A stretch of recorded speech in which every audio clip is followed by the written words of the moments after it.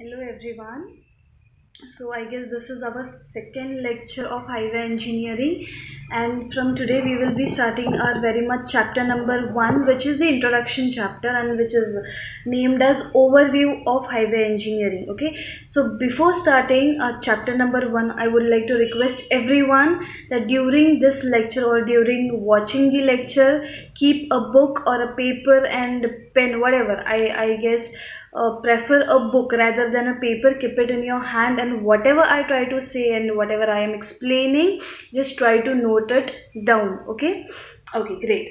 So we will move with our very much chapter number one which is overview of highway engineering. So what all the things which we are going to cover into this chapter is just an introduction part of basically what is highway engineering or why are we trying to learn or why do we learn highway engineering basically and what are roads what are the classification of roads what mm, very much introductory part of uh, of our complete syllabus is what we are going to cover into chapter number 1 okay? So moving towards the chapter the name of your chapter number 1 is overview of highway engineering okay? So basically before before going much deeper into the chapter what basically is highway engineering or why do we study highway engineering? Or you may say what is the definition of highway engineering okay so highway engineering is nothing but highway engineering is the branch of engineering which provides us with roads. Okay. So everyone is known to now if we have to travel from one place to another we travel by a road. Okay. So ते रोज कोण construct करतो? किंवा तो department कोणाच्या under असतो? किंवा काही process असते ती रोड कन्स्ट्रक्शनची तर ते सगळं जो पार्ट आहे रोड कन्स्ट्रक्शनचा तर ते कोण कवर करतं? तर ती हायवे इंजिनिअरिंगची जी ब्रांच आहे ही या सगळ्या गोष्टी डील आउट करते okay so the construction of roads so the maintenance of roads and what everything related to roads is carried out by a highway engineering or the department of highway engineering. So if anyone asks you what is highway engineering? So highway engineering is one branch of engineering which provides us with roads. And why do we construct roads? To transport or to travel from one place to another we construct roads okay so that is one basic reason why roads are provided into this country okay so the next very much important point is importance of roads okay so what is the importance of roads महत्त्व काय आहे रोडचं आपण road का construct करतो उगाच आपण पैसे invest करतो का रोड कन्स्ट्रक्शनमध्ये किंवा गव्हर्नमेंट उगाच इंडल्ज होते का रोड कन्स्ट्रक्शनमध्ये तर नाही काहीतरी बेसिक एक नॅशनल इम्पॉर्टन्स आहे रोड्सचा म्हणून आपण रोड्स कन्स्ट्रक्ट करतो right so basically there are some very much ten to twelve important points which have which are very much important to be covered why do we construct road or what is the importance of roads okay so the very much basic point of importance of why do we construct road what is the very basic point of point in to constructing a road so the very basic point तुम्हाला जर विचारलं की काय basic महत्त्व काय आहे road कन्स्ट्रक्शनचं तुम्ही काय सांगणार की एका ठिकाणाहून दुसऱ्या ठिकाणी ट्रॅव्हल करण्यासाठी आपण रोड कन्स्ट्रक्ट करतो आणि हे खूप बेसिक आणि इम्पॉर्टंट पॉईंट आहे हा. की for travelling from one place to another we need road so we construct road okay second most important आहे की रोड कन्स्ट्रक्शनमुळे काय होतं? की door to door service available होते तुम्हाला ओके आता वेरियस मोड्स ऑफ कन्स्ट्रक्शन आहेत. आपल्याकडे एअरवेज आहेत आपल्याकडे रेल्वेज आहेत आपल्याकडे वॉटर ट्रान्सपोर्टेशन सिस्टीम आहे मग आपल्याकडे रोड ट्रान्सपोर्टेशन सिस्टीम पण आहे ठीक आहे? पण तुम्ही जर बाकी तीन कन्सिडर केलेत कंपेअर केलेत रोड कन्स्ट्रक्शनसोबत तर बाकी तीन जे आहेत ते आपल्याला door to door service provide करत नाहीत. तुम्ही जर रेल ट्रान्सप रेल्वे ट्रान्सपोर्टेशन बघितलं तुम्ही जर वॉटर ट्रान्सपोर्टेशन बघितलं तुम्ही जर एअर ट्रान्सपोर्टेशन बघितलं तर हे तिन्ही ट्रान्सपोर्टेशन जे आहेत हे आपल्याला door to door service provide करत नाहीत. आपल्याला दारात आणून सोडतात सोडतात का ते? डोर टू डोअर सर्व्हिस म्हणजे काय? आपण आपल्या दारात येऊन लँड करू शकतो. आपला डेस्टिनेशन पॉईंट जो असतो एक असतो आपला इनिशियल पॉईंट एक असतो आपला डेस्टिनेशन पॉईंट इनिशियल पॉईंट म्हणजे काय? त्या पॉईंट जेव्हा तुम्ही ड जर्नी तुमची स्टार्ट करता you know when we travel from one point to another तो जो फर्स्ट पॉईंट आहे जिथून तुम्ही तुमची जर्नी स्टार्ट करता त्या पॉईंटला काय म्हणायचं? तुमचं इनिशियल पॉईंट किंवा तुमचं स्टार्टिंग पॉईंट ओके जेव्हा तुम्ही तुमची जर्नी एंड करता तुम्ही तुमच्या डेस्टिनेशनला पोहोचता जेव्हा तुमची जर्नी तुमची एंड होते त्या पॉईंटला आपण काय म्हणतो? Destination point okay so when we when we travel by a railway तुम्ही जेव्हा ट्रेनने ट्रान्सपोर्ट करता तर तुमची स्टार्टिंगचा एक स्टेशन असतो जिथे जाऊन तुम्ही तुमची ट्रेन पकडता किंवा ट्रॅव्हल करता. त्याच्यानंतर तुमचा एक एंड पॉईंट असतो तुमचा डेस्टिनेशन पॉईंट असतो. सो रेल ट्रान्सपोर्टेशन किंवा तुम्ही जर एअर मोडने ट्रान्सपोर्ट केलं किंवा तुम्ही शेप या क्रूजने ट्रॅव्हल केलं तर तो तुम्हाला तुमच्या दारात आणून सोडतो का? Door to door service provide करतो का? तर नाही. कळलं? हे तिन्ही ट्रान्सपोर्ट आपल्याला door to door service provide करत नाही. तर डोर टू डोर सर्व्हिस आपल्याला प्रोव्हाइड कोण करतं? तर फक्त रोड ट्रान्सपोर्टेशन आपल्याला door to door service provide करतं. कळलं? सो हा सेकंड मोस्ट इम्पॉर्टंट पॉईंट आहे की वट तुम्हाला जर क्वेश्चन आला पेपरमध्ये की write the importance of roads तर पहिला इम्पॉर्टन्स काय आहे? की रोड आपल्याला स्पीडी ट्रान्सपोर्ट देतं. ठीक आहे तुम्ही जर नॉर्मल लाईफमध्ये आता सगळीकडेच ट्रान्सपोर्ट सगळीकडेच ट्रॅव्हल करण्यासाठी आपण एअरप्लेन किंवा क्रूज किंवा रेल्वेजने ट्रॅव्हल करत नाही. ठीक आहे शॉर्ट डिस्टन्स आपल्याला ट्रॅव्हल करायचं असेल आपल्याला मार्केटमध्ये जायचं असेल तर we can prefer the other three systems of transportation तर बेसिक ट्रान्सपोर्टेशन सिस्टम आपण कोणती प्रेफर करतो? रोड ट्रान्सपोर्टेशन तुम्हाला शॉर्ट डिस्टन्स ट्रॅव्हल करायचं असेल तर सगळ्यात स्पीडी ट्रान्सपोर्ट कोणता आहे? रोड ट्रान्सपोर्टेशन ठीक आहे? सेकंड पॉईंट आपण काय कवर केला की door to door service provide करतं ठीक आहे? You know when we when we uh, travel by road uh, railway transportation or airways or waterways आपल्याला त्याच्याने ट्रान्स त्याच्याने ट्रॅव्हल करून आपल्याला परत रोड ट्रान्सपोर्टेशन लागतं आपल्या घरापर्यंत पोहोचण्यासाठी कळलं? So road transportation is the only way of transportation which provides us with door to door service हा झाला आपला point number two okay so the point number three is they help us in the economic growth of trade between villages and city areas by establishing contacts through roads okay economic growth होते नेशनची roads जेव्हा आपण road construct करतो किंवा roads develop करतो आपण नवीन road जेव्हा construct करतो तेव्हा काय होतं?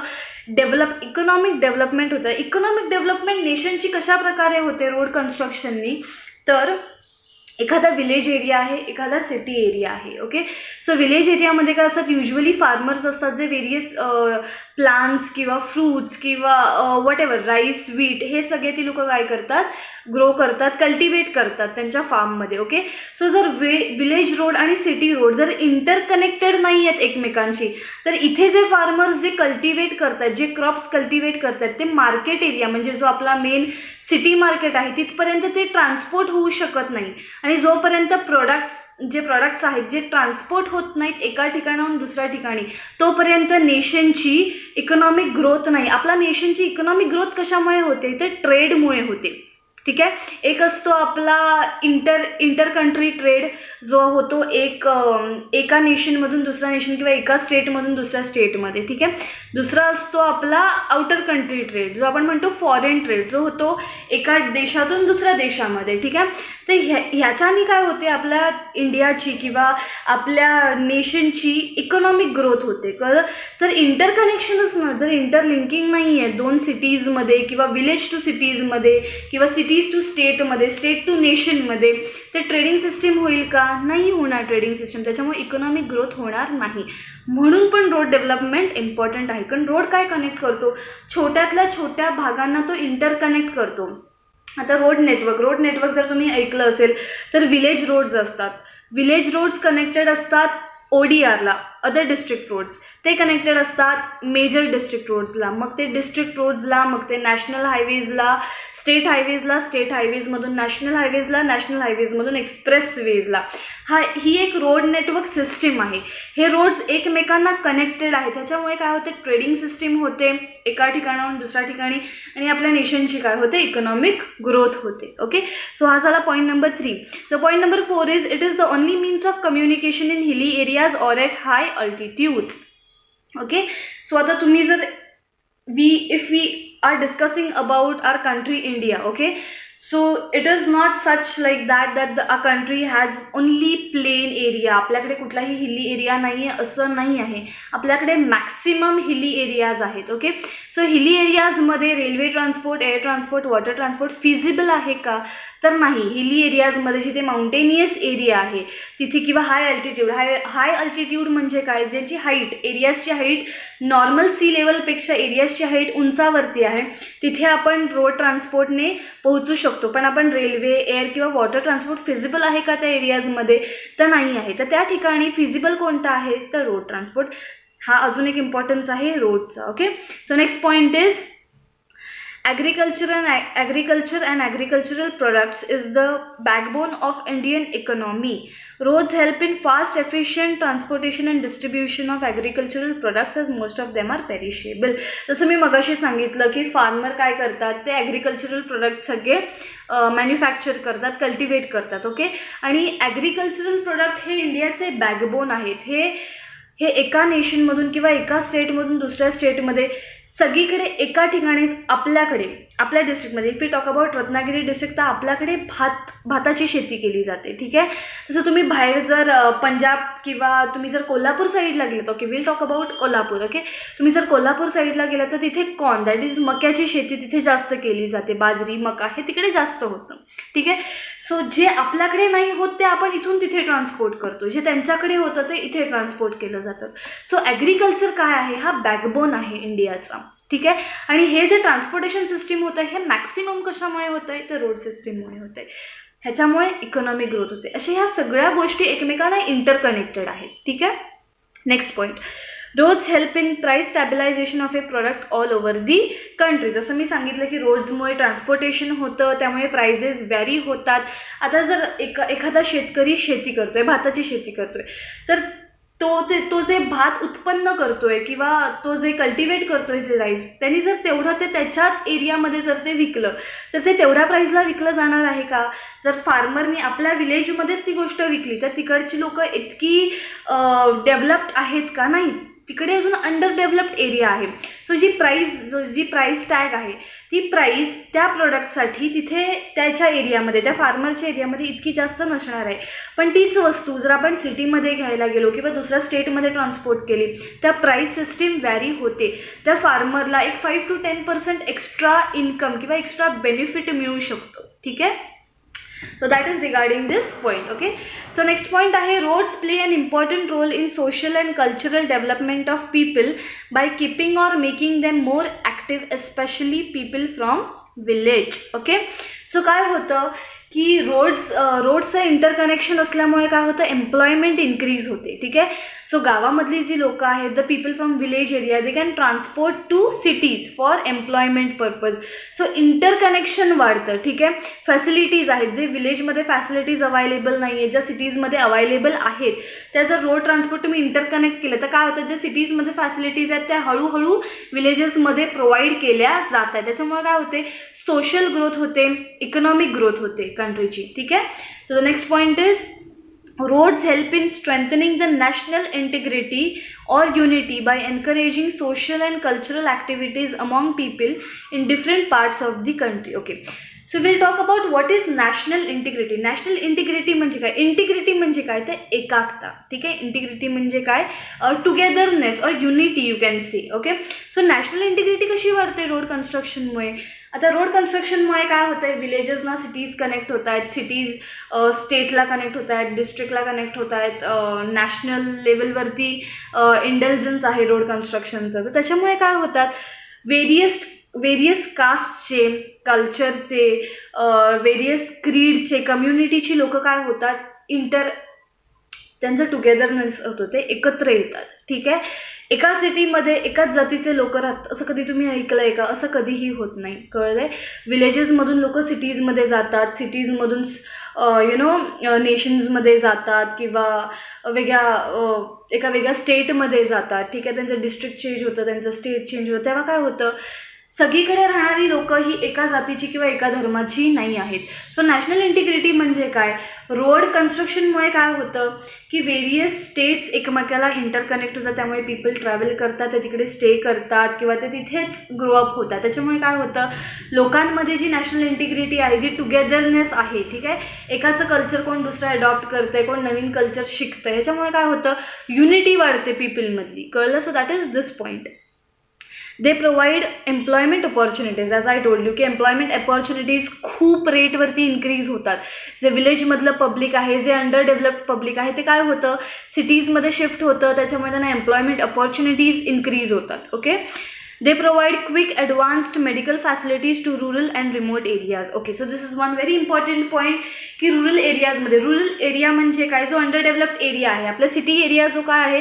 सिटी सिटी एरियामध्ये आपल्याला various hitech medical facilities available आहेत. पण तेच तुम्ही गावामध्ये गेले तर तेवढ्या फॅसिलिटीज अवेलेबल आहेत का? तर नाही आहेत तेवढ्या फॅसिलिटीज अवेलेबल ठीक आहे? तर हा पॉईंट काय व्हेरीफाय करतो की जेव्हा रोडचं इंटरकनेक्शन होतं एका under developed under developed village किंवा अंडर डेव्हलप्ड एरियाचं एका ओव्हर डेव्हलप्ड एरियासोबत जेव्हा इंटरलिकिंग होतं रोड्समुळे तेव्हा काय होतं?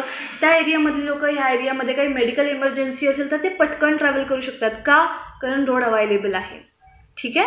Okay so the next point is they act as feeder to airways railways and waterways feeder म्हणजे कसं? मी तुम्हाला सांगितलं इफ यू ट्रॅव्हल आपण ट्रेनने ट्रॅव्हल केलं.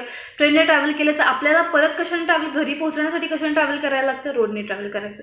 सो हा जो रोड आहे हा एक हा एक फीडर मीडियम म्हणून ॲक्ट होतो. फीडर मीडियम म्हणून काय ॲक्ट होतो?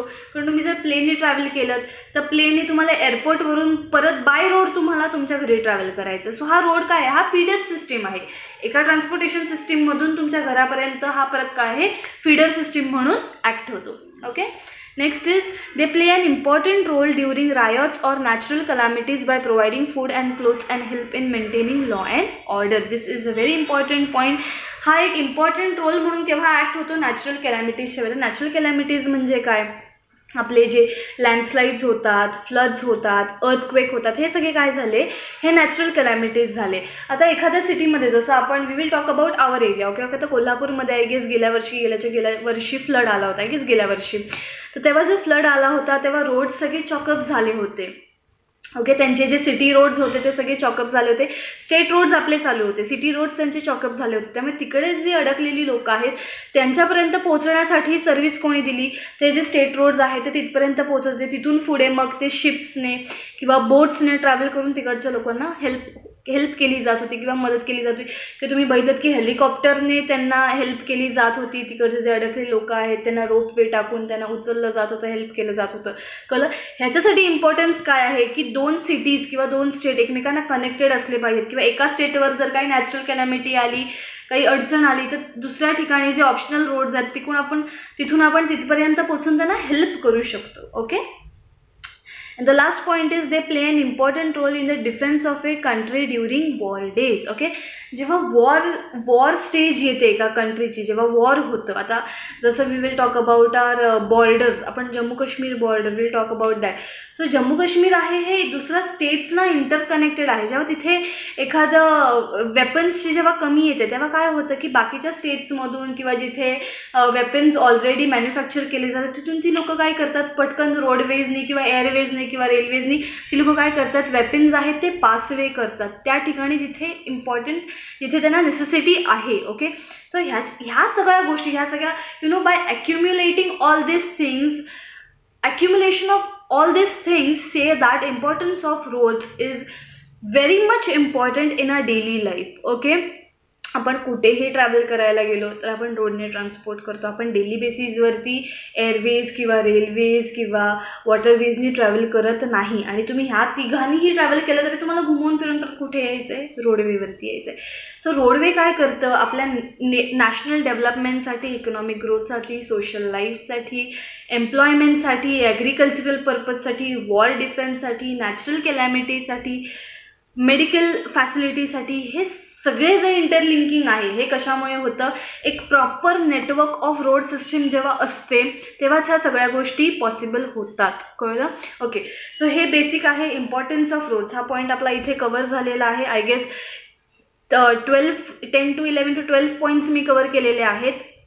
Okay so related to the notes ह्याचे जे नोट्स असतील प्रत्येक पॉईंट आपण जो कवर करू हा चॅप्टरच्या एंडला मी एक प्रॉपर पी डी एफ सगळ्या नोट्सची रेडी करून ती तुमच्या ग्रुपवरती अपलोड केली जाईल ठीक आहे? सो प्रत्येक पॉईंट कंप्लीट झाल्यावर तुम्हाला जर काही इश्यू असेल कुठला पॉईंट कळला नसेल आता जसं आपण इम्पॉर्टन्स हायवे इंजिनिअरिंग काय आहे किंवा इम्पॉर्टन्स ऑफ रोड्स काय आहे ते आपण डिस्कस केले सो ह्याच्या रिलेटेड तुम्हाला काही कुठला पॉईंट कळला नसेल तर you can comment on your Google classroom and let me know okay? So in the next lecture we'll cover our next some points related to our chapter number one. Okay? Thank you